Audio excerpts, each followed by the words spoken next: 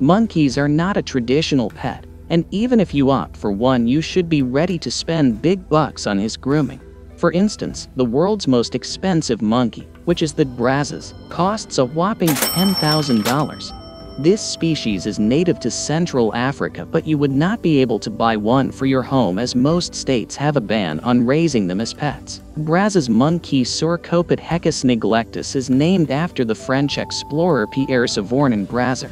These swamp monkeys are found in the Central African wetlands in the nations of Uganda, Sudan, Kenya, Gabon, Ethiopia, Equatorial Guinea, the Democratic Republic of the Congo, Congo, Central African Republic, Cameroon, and Angola.